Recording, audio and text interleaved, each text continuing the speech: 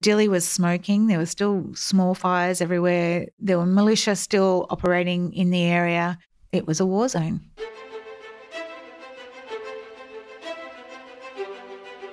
Welcome to the podcast where we track down Australian war veterans, have a chat with them, and hear their stories. I'm Alex Lloyd, and this is Life on the Line. The single greatest sacrifice I've made is my family. We weren't out there to take country, we were out there to do something. That was our job. I did feel a lot of regret. Friends were still getting killed. It got to the point where, you know, you were going to funerals quite Do I lead under fire? And that was a heavy responsibility, I guess, on my shoulders that I didn't want to screw up. War itself is horrific. It's a horror story. It should never be dressed up as if it's something glorious. Not what you can do for yourself, but what can you do for your country. The volunteer for service was in effect to put your life on the line. I'm Sharon Mascall Dare, and you're listening to Life on the Line. In today's podcast, we meet Major Lily Mulholland, who served in the Australian Defence Force for 24 years as a public affairs officer. Her military career has taken her to East Timor, Bougainville, Mount Everest, and closer to home, she worked at the Olympic Games in Australia in 2000 on Operation Gold. Welcome, Lily, to Life on the Line. Thanks, Sharon. So tell us a bit about where you grew up. So I grew up in Melbourne in the southeastern suburbs in the 70s and 80s. And it was an idyllic Australian uh, childhood fill of, filled with long summers at the local pools and cold winters um, on the tram, wishing that we didn't have to go to school every day. So it was very, very pedestrian, very suburban. So tell us then about how you perceived the military when you were growing up. Did you have any military history in your family? Yes, I had one uncle who was in the Army Reserve. And I remember going to his investiture as the commanding officer of Monash University Regiment back in the day. And I remember he got this amazing sword and he was out on parade and it was all very impressive. And I had no idea that my uncle was a senior person in the military. It spoke to me in, in some way and I, I really liked what I saw there and it made me think I, I might want to go into the reserve. So I, did apply to go to, into the reserve when I was 21, I think, um, but I wanted to drive trucks. And I went out to the Oakleigh depot and they said, No, you're going to university, you must be an officer. Um, so I didn't want to be an officer, I wanted to drive trucks. So I said, Okay, no, thank you. Um, and then fast forward to about 1997, maybe early 98. And I was watching television one day, and there had been a tsunami in Vanimo in Papua New Guinea. And I was watching incredible vision coming out of the jungle in Papua New Guinea. And there were army tents set up there, Australian army doctors amputa- amputating limbs, um, putting people back together after they'd been tossed around by the waves. Um, and there'd been lots of people killed, and it was just a really traumatic time for that community. But I was watching this footage. I was working in public affairs at the time as a civilian, and I was thinking to myself, how on earth are they getting this footage out of the jungle? There must be a PR team in there. Does the army have public relations officers? And it was the very, very early days of the internet. So I looked up on a, whatever search engine was back then, it wasn't Google, and discovered that the army was recruiting public affairs officers. So I put my application in and it took 12 months and the process hasn't really changed since then um, and eventually i was commissioned and so i joined on the 18th of january 1999 So take us back to that time. What did you have to do to get in? So you had to go through an assessment day as a first hurdle and you were seen by a psychologist to see if you were fit to serve and resilient enough to serve. And then you had to do a maths test, which I failed abysmally, but they said that doesn't matter, you're going into public relations. Um, and we had to do all kinds of other aptitude tests and have an interview. And so I sailed through the assessment day, which was great. Um, and then it was an interminable wait. I don't remember how long um, until I sat my officer selection board. And that comprised of a senior officer, a psychologist, and a public relations officer. I had to present myself and convince them that I had officer like qualities as well as the skills to be a successful public relations officer in the Army. And at that stage, I think I had three and a half years of experience. and I was just finishing off my graduate diploma in public relations at RMIT University. And they came back to me and said, Oh, we'll commission you as a lieutenant because you haven't quite met our benchmark of four years and a completed degree. And I said, Well, the process has been going for six months already. It's going to take at least another six months before I start, isn't it? And they said, Yes. And I said, By then, I will have achieved both of your benchmarks to be appointed as a captain. So I think you should appoint me as a captain. And they said, Oh, well, you don't get to tell the system what to do. And I said, No, no, I definitely don't, but I'm not prepared to join as a lieutenant. And so, sure enough, they came back with a letter of offer to appoint me as a captain, which I duly accepted. So, what were those first few weeks like? You were in uniform, appointed as a captain. Was it what you expected? Well, I wasn't actually in uniform because I hadn't actually been issued with anything by that point. So I was told to arrive at Victoria Barracks on St Kilda Road in Melbourne at such and such a time on such and such a date. And I was met by the flight sergeant, admin officer of the Defence Public Relations Regional Office and taken up to meet my boss, Lieutenant Colonel Peter Seaman, um, who ironically ended up in the army. And they were all lovely to me on the first day, and they showed me my office because back in those days you got offices. And they were all very nice. And I kind of sat at my desk and switched on my computer and thought, now what? And before too long, I got tasks. So I had to take the photographer with me and go and cover tasks at Puckapunyal. So we'd drive up to Seymour to Puckapunyal and we'd watch the infantry blow things up and we'd watch the engineers build stuff only to blow them up and blowing things up was a big theme back then and we would take photos and I'd write stories for the local newspapers and they'd publish them and it was all very exciting. But I was starting to get a bit antsy about not having a uniform and not really having any military knowledge. And you are appointed as a captain, as a specialist service officer in the public relations service.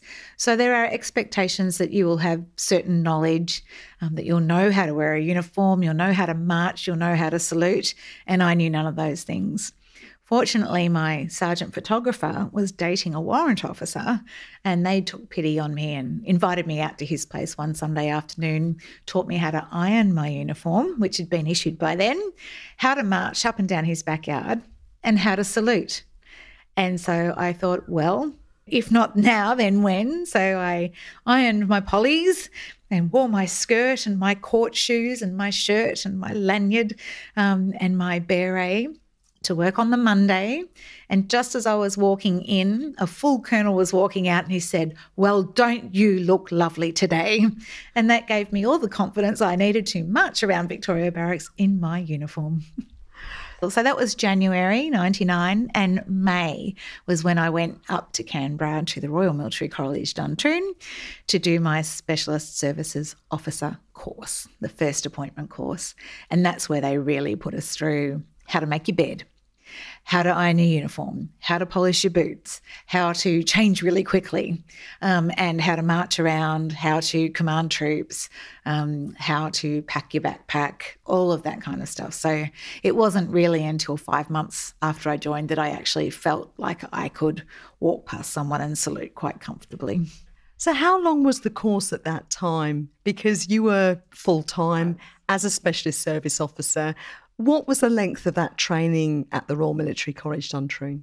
Two weeks in the classroom and then two weeks what they call out in the field. But we weren't really in the field. We were on Mount Majura, Mount Majura Range, and we were in ATCO huts. So we were sleeping on stretchers and we were doing a lot of um, field based lessons. We were learning to fire weapons. I had never held a weapon in my hands before that day.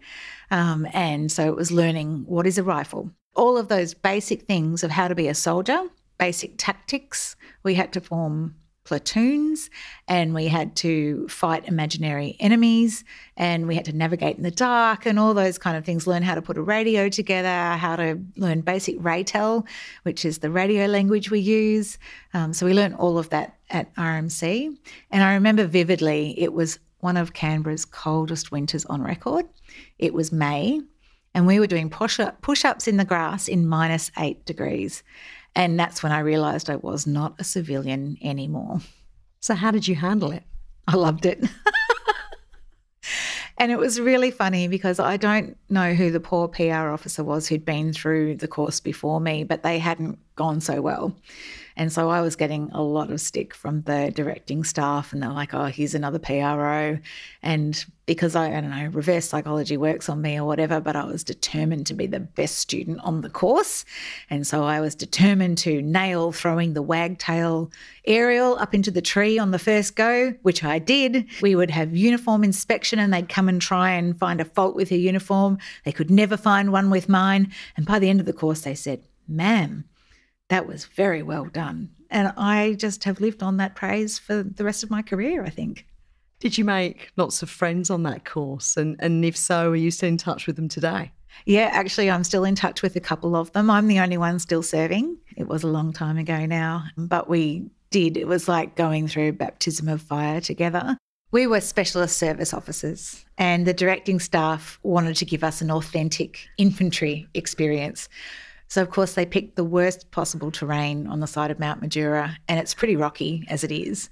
But they found um, steep terrain that was basically rocks and prickle bushes and made us leopard crawl up that. So it was full on. I used muscles in my body I didn't know existed.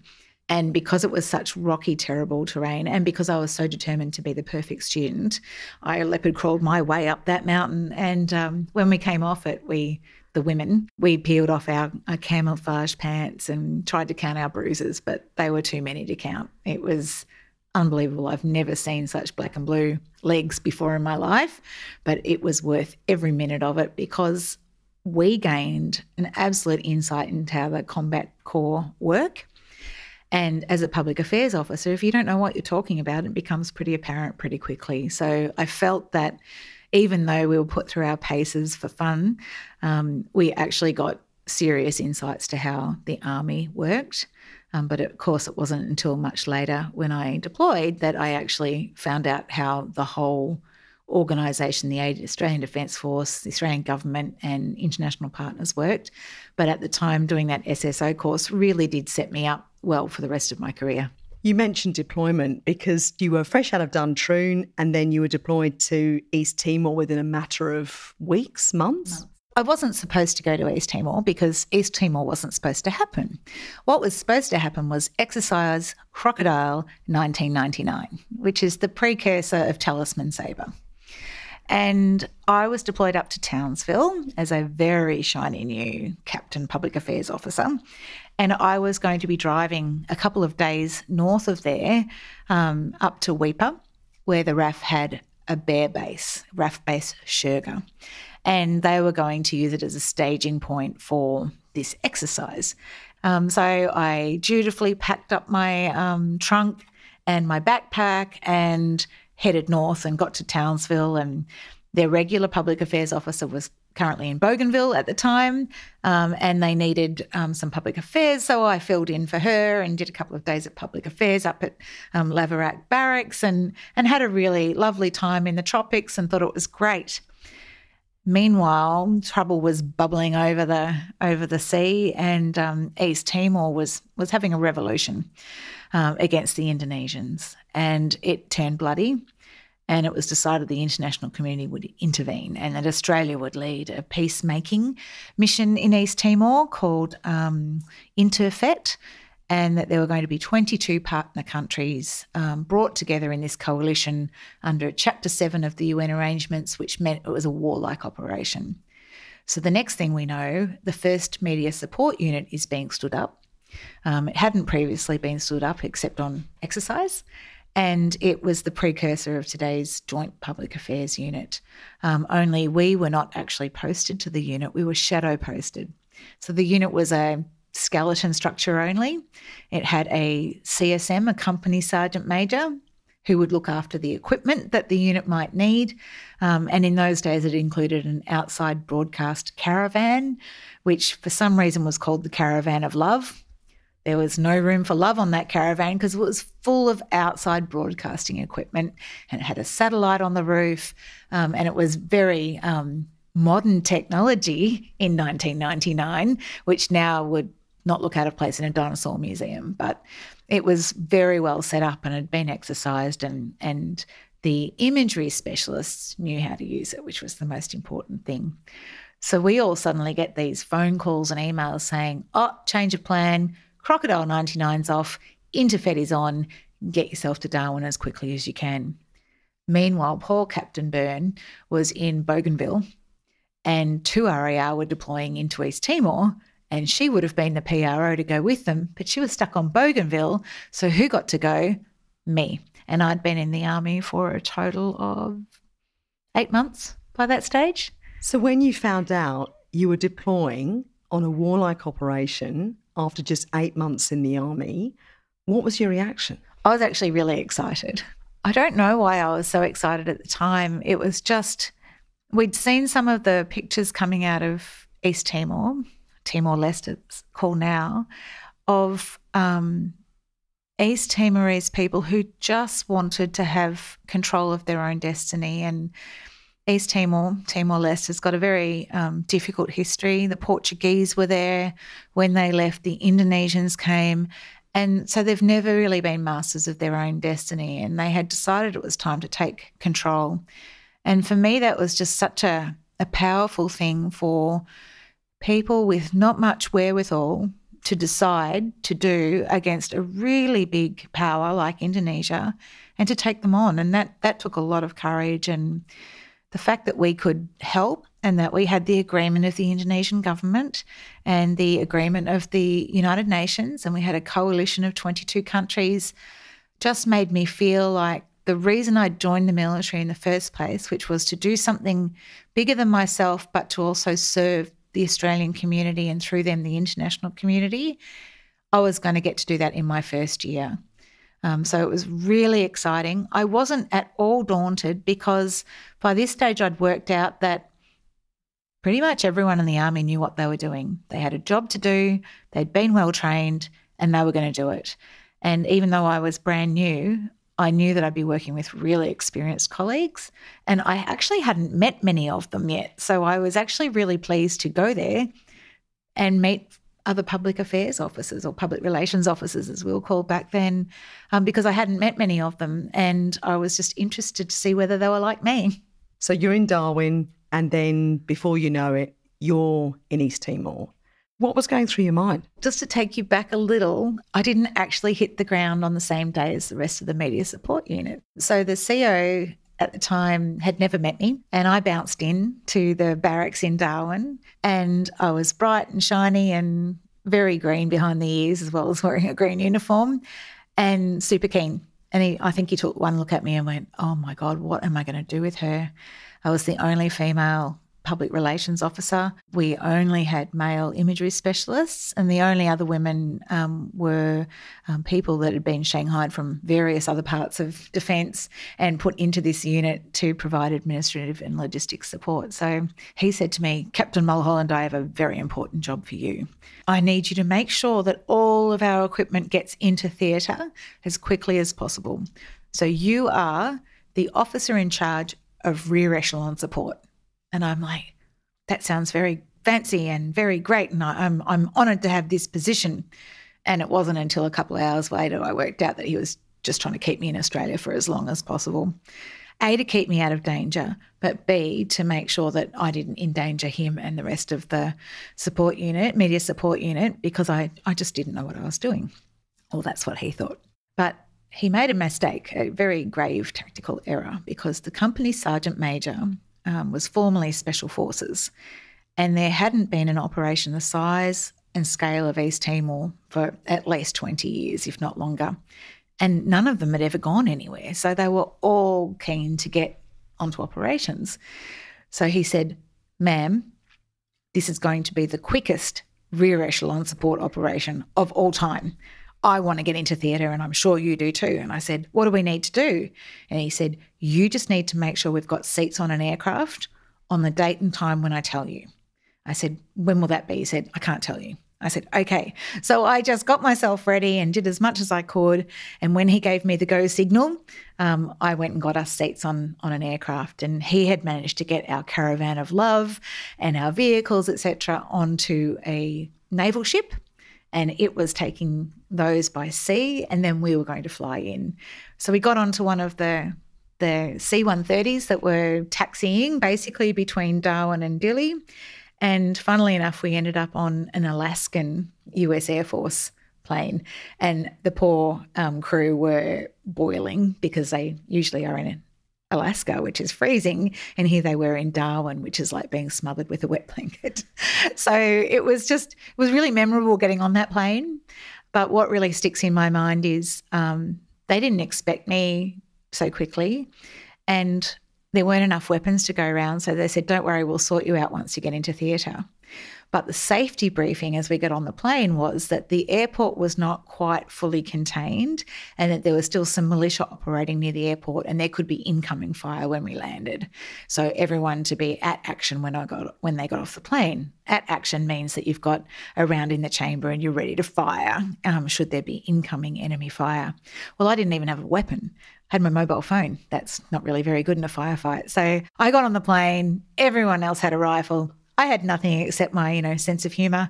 And um, so we flew in into Dili and we got off and, and thankfully the airport had been secured by the time we got there. The thing that sticks with me most was when we flew in, Dili was still smoking. And that was because the Indonesian backed militia had burnt everything of value. Um, the Indonesians were in the process of taking the roof tin off everyone's houses and putting it on barges to ship back to Indonesia because it had value. Um, so they they stripped everything of value they could, and what they couldn't take, they burnt. Um, so Dili was smoking. There were still small fires everywhere. There were militia still operating in the area. It was a war zone. We got in the back of a army vehicle and were driven out to the Hotel Turismo, which is where the first media support unit was staging out of. It's not a hotel, it's a motel. But like all motels that aspire to more, it's actually called a hotel. Um, and it had been burnt, and and as we found out later, people had been killed in the motel. Um, so it basically was a burnt out shell, but the roof had not been taken. It was a um, terracotta roof, um, so that was still there. So we holed up in there, and when I got there, there was barbed wire all around the place. There were guards, army people guarding the front gate. And we got let in, and the gate shut behind us. And it was at that point that I realised that this was a real war. And even though the real war only lasted for two to three weeks, um, it was quite shocking because I'd never been exposed to anything like it before. And um, Australia has, you know, we, we had some some bombs dropped in, in World War II in, in far out places like the Torres Strait Islands and Darwin, but um, this this place had really really been um, through some some traumatic events. And driving through the streets, the East Timorese were were wandering around looking like ghosts um, because of what they'd just been through. So a lot of their um, countrymen had been killed. Um, a lot of um, their crops had been destroyed. A lot of their animals had been destroyed. So, and their wells had been poisoned by the Indonesians as they left. So, it was really um, couldn't have been further removed from Australia, um, and, and, that was shocking, I think. But at the same time, um, we knew that we were really needed and that we could really help. Um, so it was it was very mixed emotions coming into the country mixed emotions. So, that real sense of shock, as you describe, but also a sense of purpose and that you're there to do a job and an important job. But how did you manage those emotions each day? Because being in that environment, as you say, you walked into a war. You were in the middle of chaos, uncertainty. How did you manage that? Yeah, that's a, a good question. And I, I, kind of look back now and, and marvel at who I was then, um, I remember um, we had an OPSO, which is an operations officer, and he was an infantryman. And he'd been brought in to help make the unit more robust because you couldn't have a whole bunch of public affairs officers running a unit. Um, so he was very, very straight and very regimented. And he turned around to me one day when we were going through some pretty scary stuff and he said, are you scared, Captain Mulholland? And I just looked at him and laughed and I said, If I was scared, I shouldn't be here. Um, what I think he was trying to say is, Do you understand the situation that you're in right now and what do you make of it? But because he'd said it to me in that kind of condescending, patronizing way, I just kind of gave it back to him. and I wasn't scared because I was with amazing people. We had a whole bunch of special forces soldiers with us, keeping us safe. Um, the other thing I didn't mention before was we had a contingent of 40 media with us 20 Australian, 20 international, and I was put in charge of them. Um, because my boss didn't want me outside the wire for the first few days for aforementioned reasons. So I became the mother hen to these journalists who included Chris Reason, Richard Carlton, a whole bunch of ABC journalists, and like the creme de la creme of Australian journalists in 1999. And they were hilarious. They were lots of fun to be with. And they thought I was just a novelty. Here I was, this fairly young captain. It was really hot over there. So after hours, we were just getting around in our singlets and cam pants, but still with our rifles slung. So I can only imagine what I looked like to a whole bunch of journalists. And it was great camaraderie with the media. They understood why we were there. They were so keen to cover this story. It had been the biggest story, huge at the time. The international media were um, intense in a way the Australians weren't. I remember our first press conference where General Cosgrove came out to the Hotel Turismo to talk to them all, and they were literally throwing each other out of the way, trying to get their microphones in front of General Cosgrove, and we're there going, "What are you doing?" Like there's there's enough space for everyone, but they were used to a much more combative style of of media than we had in Australia, and we thought the Australians were pretty intense. So it was just such an eye opener. I had never seen so many journalists in one place. And so to watch how it all worked and all happened was really, really interesting. I guess because I had this job to do, and I knew how to deal with journalists because I had been a corporate public relations person before. I just made it my business to make sure that they were well cared for, well catered for, that they get the access that they needed, but also that we kept them safe and secure. Um, and so I had a, a job to do. And I knew what that job was, and I knew I could do it well. So I just poured my efforts into that. Um, I do remember we were allowed five minutes phone call home per week because we didn't have the internet readily accessible back then. We did get a few workstations in the kiosk a little bit later, but at that point in time, five minutes home each week. And I was single at the time, so my phone call was home to my parents. And I realised I couldn't actually tell them much of what was going on because they were just so worried about their only daughter being in this shooting war, which, as it turned out, you know, the the danger danger part of it was only about three or four weeks, and after that, it was back to you know peacekeeping. Um, but yeah, it was you know you kind of knew that you you were doing something special in a very special circumstance, but that people back home wouldn't really understand what it was that you were doing.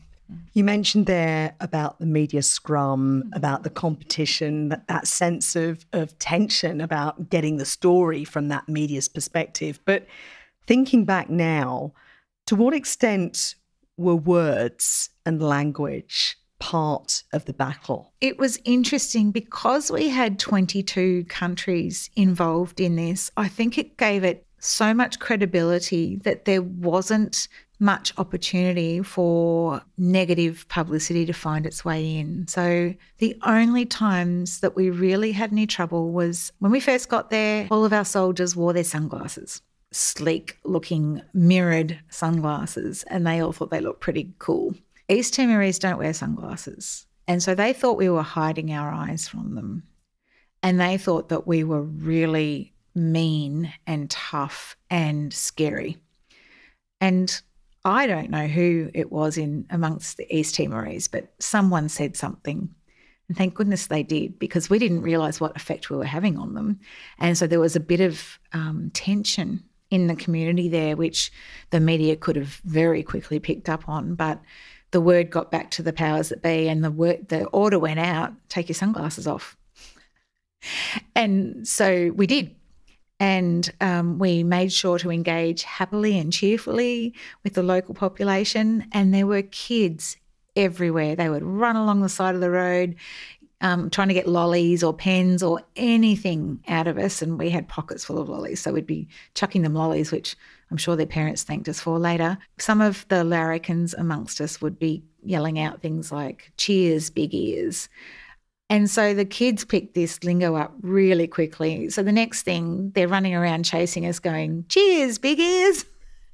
And we knew at that point that we'd won over the local population. So that was fine. The sentiment back in Australia was strong, super strong. Um, and we had lots of ministerial visits, and the Prime Minister, back then it was John Howard, he was, by all accounts, very happy with how things were going. And, and General Cosgrove was masterful in his leadership. He really brought that coalition together. There were some countries in that coalition that didn't think much of each other. He gave them very different jobs and made sure their troops wouldn't be based near each other. And he gave everyone a job that played to their strengths. I've never seen anything like it. But at the same time, he was very personable, very humble, and he engendered trust from the East Timorese leadership right down to the youngest child. And he knew all of our names in the media support unit. He knew he he's just one of those people, one of those leaders who has that uncanny ability to see you, to remember you, and to remember your husband's name or your children's name or your mother's name or that they were in hospital. How are they today? And I ran into him years later and he said, Captain Mulholland. And I said, Oh my God, sir, how do you remember that? And he said, I don't know. I just remember these things. And I just couldn't believe it. Anyway, he just had that talent and that skill. And he knew he had to be the public face, and he knew the media support unit was going to give that to him. It was all done um, with good heart and done very authentically. So I think that worked really well. But what happened was um, the operation was going really well. We were getting great imagery out. Then all of a sudden, there was an earthquake in Taiwan and it killed a lot of people. And suddenly, media interest switched from East Timor to Taiwan, and almost overnight, three quarters of the journalists left.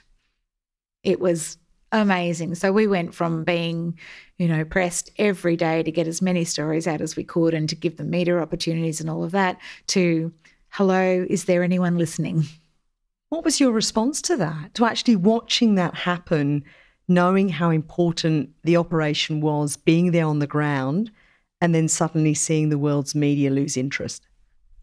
That was a really salutary moment for me. Um, up until then, I'd been quite naive, I think, and just thought, um, you know, these people really need our help. Isn't it wonderful that everyone's come together? And we had non government organisations in the mix, and we were all working so well together.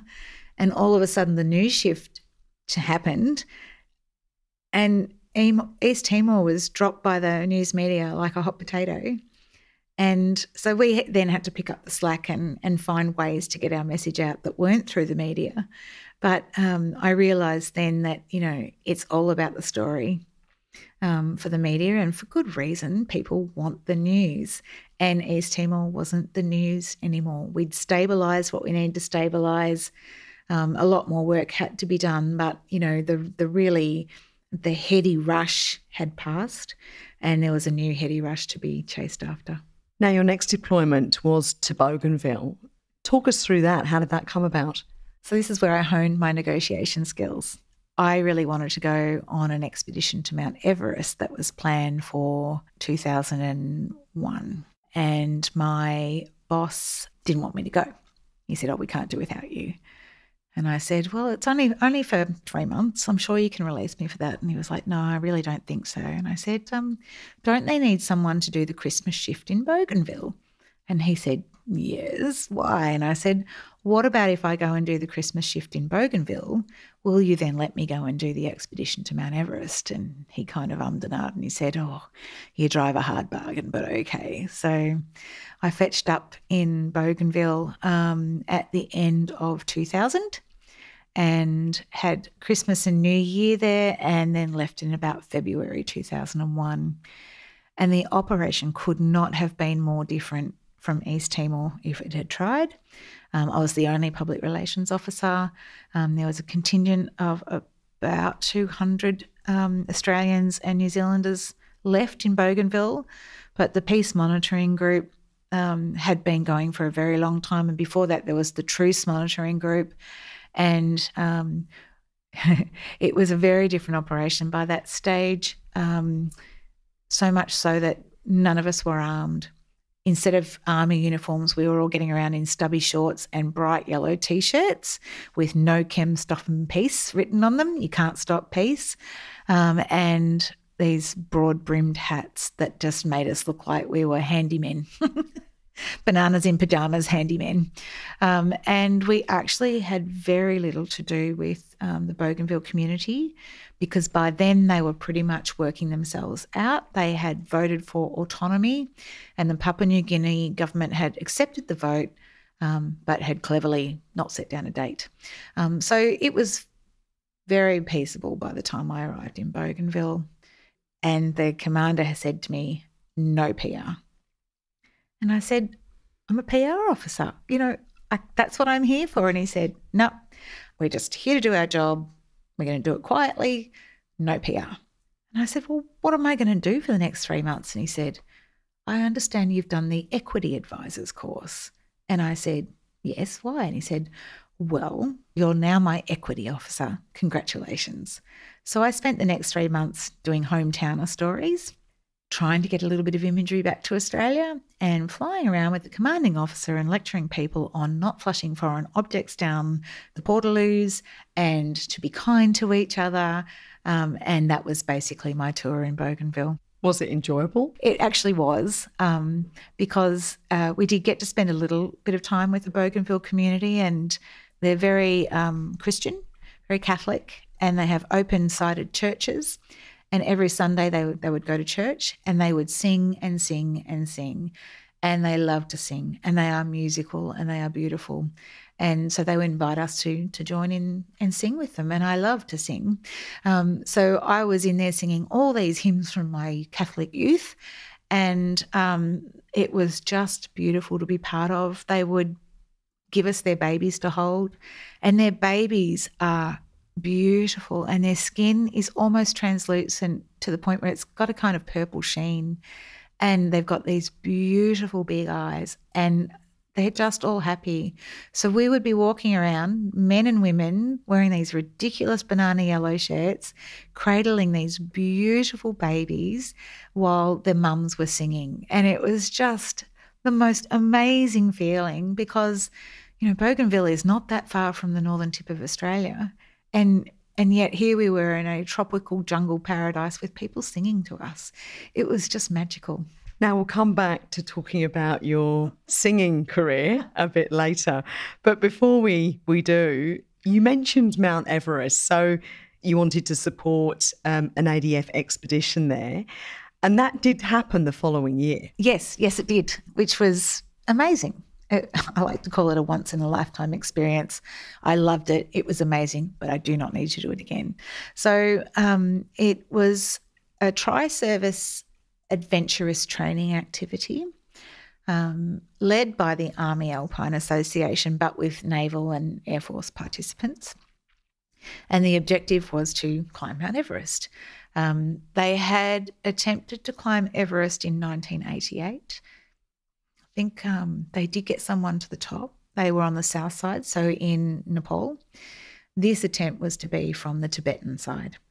Um, and they decided they needed a public affairs officer um, to help manage any issues, but also to um, provide good news stories back about the expedition and um, Defence wouldn't pay for the whole expedition, so funds had to be raised, and and all the participants, um, I think we all put in nine thousand dollars individually, um, and then we got sponsors. So we had BOC gases, for example, and they supplied supplied us with oxygen. Um, so all of the sponsorships were related to what we were doing, but we needed to then provide a return on the sponsor's investment. So there I was with the camera and I had a laptop and I had a satellite connection and a solar panel to run my um, computer with, and I had a dome tent on the side of Mount Everest in Tibet while the climbers attempted to climb to the summit. So it was a really fascinating trip. We flew into Nepal because you can't fly straight into Tibet. We needed to acclimatise to the altitude. So Nepal is at about 3,000 metres. Um, base camp in Tibet was going to be around 5,000 meters. And then advanced base camp, where we would stage out of, is at 6,200 meters, somewhere around that. I'm a bit fuzzy on the details, um, but high. And you can't just go straight to that kind of altitude because the human body is not designed to survive at that altitude. Um, so you need to work up to it. So we um, did an acclimatization trek in the Annapurna Sanctuary, which is in Nepal. Most beautiful mountains, eight thousand meter mountains. It's a it's a um, amphitheater, and you basically trek in, do a circuit around the amphitheater, and trek back out. Um, family trekking area. Tourists flock to it each year because it's dramatically beautiful. Um, and it was gorgeous. And you stay at what they call tea houses, which are these little kind of shacks along the way, and you have your dinner and lots of lots of tea. Um, and it was just beautiful. But um, unfortunately for us, um, the ice cliff on the side of a mountain decided to fall, and um, it came down like a, a freight train um, down the side of a mountain, no noise. Um, and unfortunately, one of our expedition members, his partner, and her eight year old daughter um, were underneath the ice cliff, and it just came down and, and landed on them, as well as um, two Israeli trekkers who were there. And we didn't know about it because we were still up in the top of the sanctuary. They decided to leave early because um, KC, the eight year old, um, was smaller than the rest of us and might have needed longer to make the trek back to where the bus was going to pick us up. And um, we all all set off, and then um, someone came running back up the path. I think one of our Sherpas, saying there's been a, a massive avalanche down the down the track, um, and people were worried that um, Peter and Michelle and KC might have been there, but we were all like, no, no, they left hours ago. They they should be safely on the other side. But as it had turned out, um, they'd woken up that morning and they'd left Casey's boots outside and they'd frozen solid overnight. So they were delayed by a couple of hours, de icing her boots. And by the time they got underway, they walked um, straight into the path of this this ice avalanche. So it wasn't snow; it was ice, and it was like um, multi-ton blocks of ice coming down the side of this almost vertical um, mountain. So they would have heard a whoosh, and that's it. Um, and it took a long time for their bodies to be recovered. The um, Nepalese army had to come in with um, sluicing gear to wash the ice away, and and we'd we'd gotten back to Kathmandu by that stage. And they found um, Michelle and KC, but they didn't find Peter.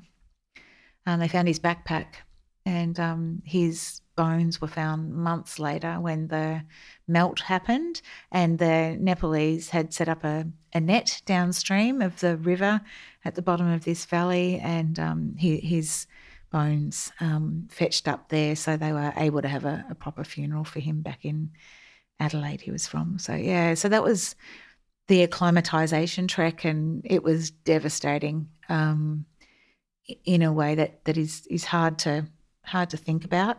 Um, and we didn't know what to do. So we got back to Kathmandu and the ambassador was there and there was a DFAT representative there and we were providing reports back to Australia. The media had started to fly in because they'd heard about it by this stage. The Israelis were there as well, and we had to have a meeting to decide what to do, whether we should continue on or whether we should just just call it off then. Um, and we all got to vote individually, and all of us voted to continue on um, because we figured that's what they would have wanted and we'd do it in their memory as well. So we did continue on um, into Tibet um, from Kathmandu in Nepal, and it was the most hair raising journey of my life. Let's just say the uh, roads that hug the sides of mountains in Tibet are not well developed. and have you ever seen those those um, YouTube videos of buses that you know the middle of them's out over nothing was there going around corners. That was us. So that, I think that's the most dangerous thing I've ever done in the military. Like I thought flying into East Timor was one thing.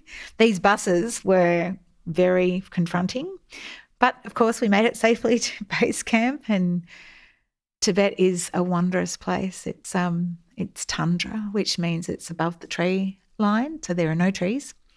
Um, it's it's basically an ice desert, and it is stunningly, startlingly beautiful. And the Tibetan people are just gorgeous. They are just gorgeous. They're all rosy cheeked, and that's because they're at altitude and there's a lot of wind. But they are generous and they are kind and they are welcoming. And it was just, and they dress very colourfully, and their houses and their yaks are all adorned, adorned with colourful cottons because there's no colour in the landscape. And there's prayer flags wherever you can find them, and they're all full of colour. And, and the idea behind them is every time they flutter in the breeze, a prayer, prayer is released. So it's just this kind of mystical, magical, wonderful place. And we just drove in a bit further, a bit further, a bit further, and then finally you come around the corner, and there is Mount Everest. And it is black. It's like a black pyramid, whereas all the other mountains are covered in snow. And the reason the side that we could see was black is because there's so much wind, it actually shears all the ice and snow off the side of the mountain. So it's very stark, it's very confronting, and it is so big. I mean, it sounds ridiculous to say this, but you can't visualize what an 8,000 meter or nearly 9,000 meter mountain looks like.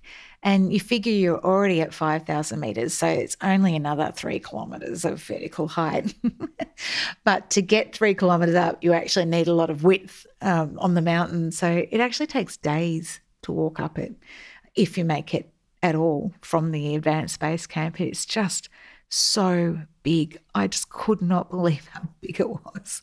So yeah, I found myself in in Tibet. We'd been through this this tragic um, accident under the avalanche, but agreed to go on. And and so we we set up our base camp and then we went up to advanced base camp, which was a 22 kilometre walk up through this glacial moraine, which is um, all the rocks that have been thrown up over the years by the moving glacier. So there's ice underneath, but then there's rocks on top. And there's this kind of little goat track that goes up there that's been made by Sherpas and yaks taking supplies up for climbers. And it's up, down, up, down, up, down, up, down. And it honestly was almost beyond me. The only way I got up to advanced base camp was I put my pack on a yak eventually, and I only had to carry a day pack.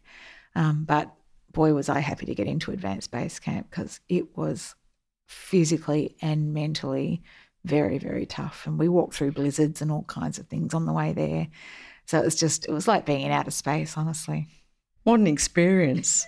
And then a few months later, things changed for you significantly with your career. We'll come to that in a moment. But we shouldn't forget that you also worked on Op Gold as part of the Sydney 2000 Olympics. Um, and that was also a defining moment in your Army career at that time. So tell us a bit about that particular deployment.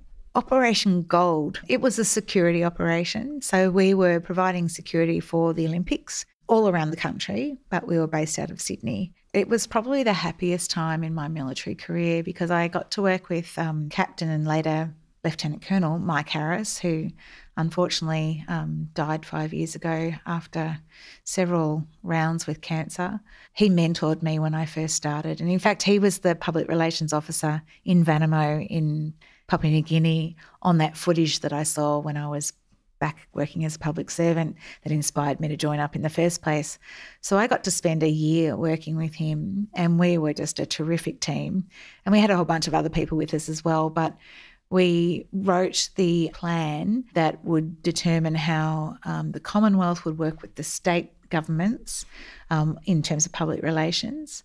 Um, and we got to execute that plan. We also worked very closely with the Special Forces Counterterrorism Task Force. Um, so we got to to see how they do um, domestic counterterrorism operations, and that was fascinating. They're like this well-oiled machine who knew exactly what their job was, and they did it really well. It was just a time in Australia where we were still before the global situation started to deteriorate again. I think, and so just the world was happy. Australia was happy, Sydney was happy, and we were happy. Now, you took a break from full time military service for a few years to have a family, and then you rejoined as an Army reservist in 2011. I'm interested to know, given that your career has spanned 24 years and you're still a public affairs officer today as an Army reservist, what's changed, do you think, over the years in terms of what you've seen with regard to perhaps the use of technology? The fact that, as you described years ago, even having a mobile phone was a novelty. And of course, now everything's done by phone, internet. We didn't even have internet back in the, the mid 90s. So, what's that meant for you? Citizen journalism has cha- changed the face of things. So, we've got the internet. Everyone's got access to the internet. You know, even the poorest communities, well, in fact, some of the poorest communities around the world have got the best internet because they totally skipped over having landlines and went straight to the internet. And because of their crazy terrains, etc., they have 5G. Um, so everyone who needs to pretty much can access the internet these days, either through public libraries or through their own handset. Well, getting a mobile phone back in the day you had to be someone special or have to have a like a really particular reason to have one and they were guarded jealously. Well everyone's got one in their pocket these days you know every teenager's got one in their pockets. And so the world is connected in a way that it never was before. These days everyone has access to everything and that brings its own challenges. You know how do you cut through the noise?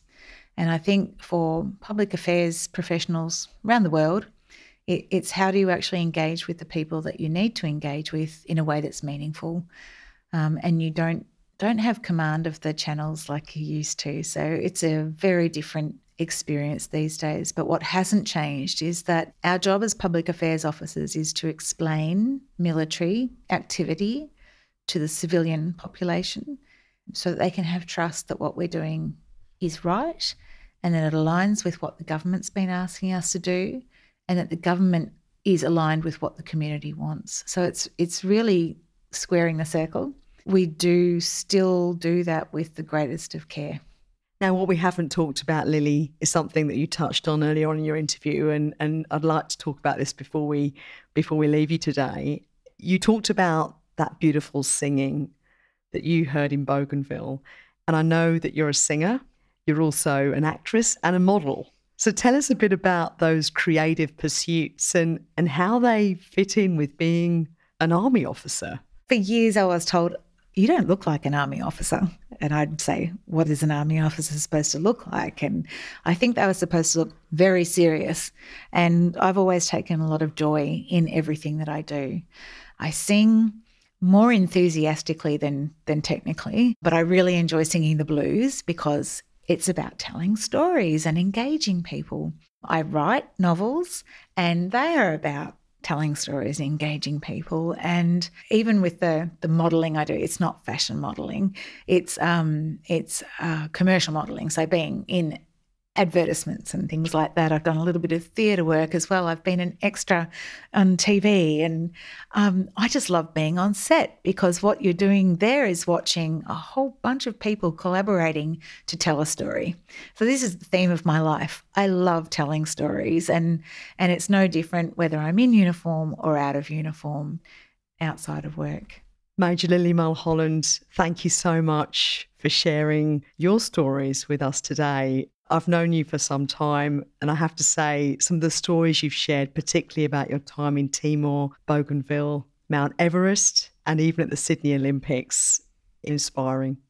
Thanks very much for joining us on Life on the Line. Thanks, Sharon. I really enjoyed it too. I'm Sharon Mascall-Dare, and you've been listening to Life on the Line.